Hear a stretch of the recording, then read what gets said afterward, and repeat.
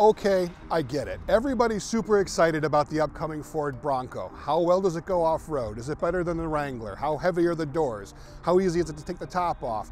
But we have to remember that Ford didn't just create one Bronco, they created two, and that second one is the one that's going to get here first. That's this one, the 2021 Ford Bronco Sport. And I can hear what the purists on off-roaders are saying right now. That's not really an off-road machine. That's a Ford Escape with some off-road bits stapled onto it. And that's not entirely inaccurate, but you also have to consider that Ford has made a lot of hay about the big Bronco's off-road prowess and its supposed best-in-class capabilities. And then they stapled that Bronco name to the front of this baby Bronco as well. And that might tell you something.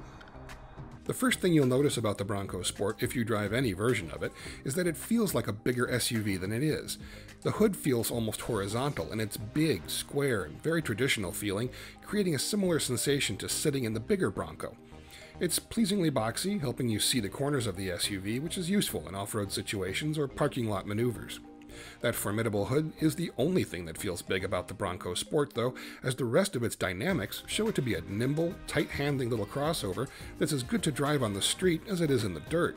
The 1.5 liter turbo engine that comes in the vast majority of Bronco Sports is torquey, peppy, and has plenty of grunt for around town driving. For the vast majority of users, it's going to be plenty of motor.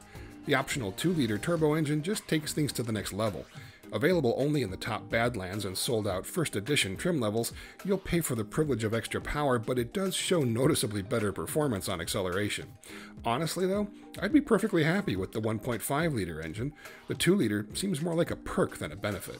The Bronco Sport handles well too, despite fairly highly boosted steering feel, and definitely features some different characteristics depending on which trim level you choose.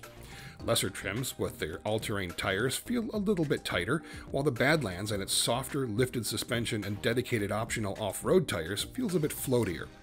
The Badlands is also a bit louder since its knobbier tires send more road noise into the cabin, but given the Bronco Sport's off-road intentions, this is really neither unexpected nor unwelcome. The overall on road driving experience is impressive, combining car like handling with easy operation, a tall driving position, excellent outward visibility, and the traditional crossover SUV characteristics that have made the segment so popular. Ford likes to bill the Bronco Sport as having a different mission than the big Bronco. The Sport is for getting you to base camp with all your stuff so you can do whatever you came to do, whether hiking or kayaking or mountain biking. The big Bronco is meant to go further, to be the very reason you're out in the wilderness, the activity you went off road for. If that's the case, though, Ford has made the Bronco Sport far more capable than it actually needs to be. Ford makes it easy to take the Bronco Sport into the muck thanks to its use of GOAT modes. The Badlands has seven of them, adding mud and ruts and rock crawl to the standard five of normal, eco, sport, slippery, and sand. You can lock the four wheel drive yourself, but switching into the mode that matches your environment will do that for you as needed, along with making adjustments to things like electronic steering feedback, throttle input, transmission shift points, traction control, and more. Ford has added a considerable dash of style and utility to the interior. The Bronco Sport's interior is completely different than the Escapes, with a more industrial, rugged look to the shapes and surfaces that's entirely in keeping with its family lineage to the Bronco line. There's even an available rubberized floor covering in case you want something that's easy to wipe out. It's also notable that Ford has introduced into the Bronco Sport interior color that's missing from a lot of SUVs these days. Shades of blue, bronze, silver, and orange that are all a welcome departure from the dull grayish in a lot of competitor vehicles. And while the interior is good, it's not perfect. As is the case with a lot of Fords, the seats feel smaller than they should be, and they're shaped in uncomfortable ways. The Badlands model's optional leather covered chairs had bottom cushions with an odd dome that made me feel like I was sitting on an exercise ball. The back seat is not terribly generous in the legroom department, likely a function of losing some wheelbase versus the Ford Escape. Headroom isn't an issue, though, thanks to the Bronco Sport's safari style roof and upright boxy styling. The cargo area looks plentiful, but Ford has not yet published dimensions for the Bronco Sport, so comparisons with other compact SUVs are difficult at this time.